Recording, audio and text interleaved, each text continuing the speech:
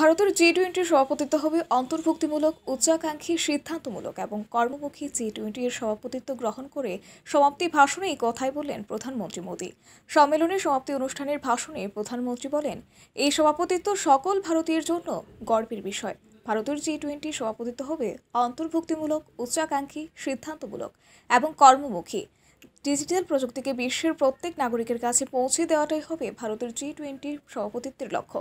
আনুষ্ঠানিকভাবে দু সালের পয়লা ডিসেম্বর থেকে এক বছরের জন্য জি টোয়েন্টি গোষ্ঠীর সভাপতিত্ব করবে ভারত भारत के लिए यह अत्यंत सुभग संयोग है कि हम जी ट्वेंटी की अध्यक्षता का दायित्व इस पवित्र द्वीप बाली में ग्रहण कर रहे हैं भारत और बाली का बहुत ही प्राचीन रिश्ता है एक्सलेंसीज भारत जी ट्वेंटी का जिम्मा ऐसे समय ले रहा है जब विश्व जियोपॉलिटिकल तनावों, आर्थिक मंदी, खाद्यान्न और ऊर्जा की बढ़ी हुई कीमतों और महामारी के दीर्घकालीन दुष्प्रभावों से एक साथ जूझ रहा है।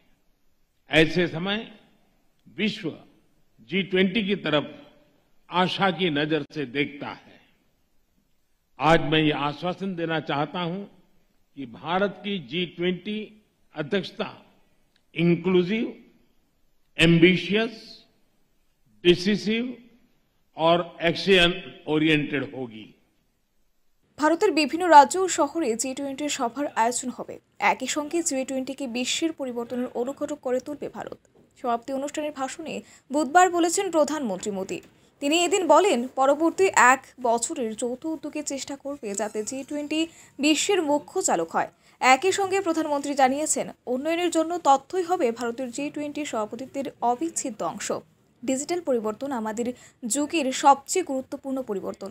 গত এক দশক ধরে বিশ্বব্যাপী দারিদ্র্যের বিরুদ্ধে যে লড়াই চলছে, ডিজিটাল প্রযুক্তির উপযুক্ত ব্যবহার সেই লড়াইকে আরও জোরদার করবে বলেও মনে করেন তিনি। গ্রহণ করার ভারতীয় गर्व का अवसर है।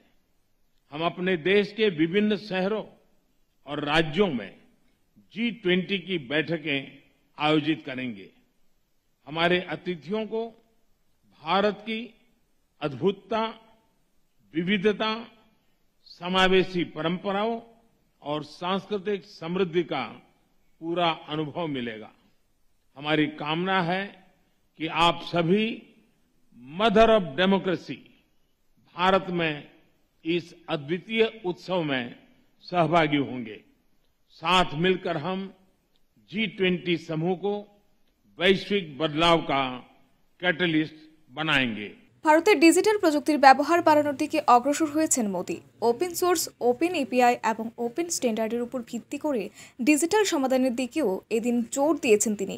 এই সমাধানগুলি সর্বজনীন বলেও উল্লেখ করেছেন প্রধানমন্ত্রী। স্বাভাবিকভাবেই এর ফলে বর্তমানে ভারতে ডিজিটাল বিপ্লব এসেছে ভারতে।